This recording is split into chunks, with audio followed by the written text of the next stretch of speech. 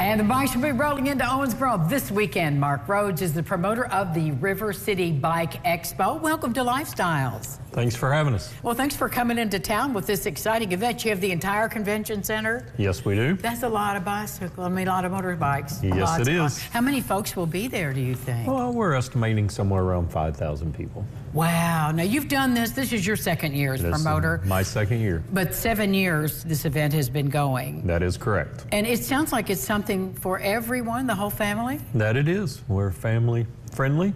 We have everything from a sound show outside to a bike shows to stunt shows for the kids to watch, vendors that sell all type of motorcycle clothing and apparel. Well, now tell me about the sound show. I'm interested. You're going to be out on the pier. Out on the pier So over the what's- river. What's that like? What's it about? Well, you don't have to get close to hear it. Let's put it that way. These guys have more audio on a motorcycle than you could possibly imagine, and they do a sound competition to quality to volume uh, and compete against each other. That's amazing. Now, is that what? What is the time of day for that one? That'll start about noon and it'll last about five to six hours, so it'll go into the early evening. Is there a panel of judges can, comparing? Okay, so and, and are people already booked into the show? Yes. Can't get anybody else in there? Oh, no, they you still register, register Okay. Saturday morning up until noon for the sound competition. Now, let's talk about the vendors. What all will they be uh, selling at well, the event? we have live tattooing going on, and then we'll have people selling anything from a leather vest to a new bandana, hats, shirts, uh, gloves, anything that you would need for the riding apparel. That's great. And where are the bikers coming from? Where? Everywhere? Yes, I have them coming from across the nation. I have them coming from Minnesota, Florida, the Carolinas.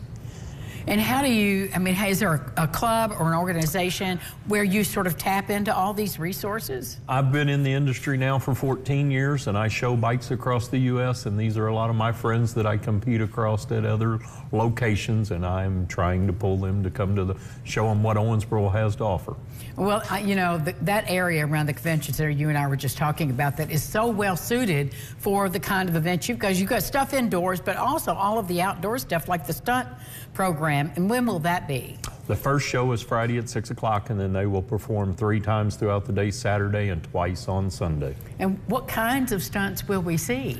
Well, they only ride Harley Davidsons, but they will do anything from riding through fire, burnouts. Uh, they also do some jumping, wheelies. It, it's something to see what they do on these big bikes. All right, tickets at the door. How do we get in? Tickets at the door, $20 for a weekend pass, and they get you three days entertainment for 20 bucks. Well, and, and right on the riverfront in Owensboro Kentucky, you can't beat that, that site and that location for all of this fun.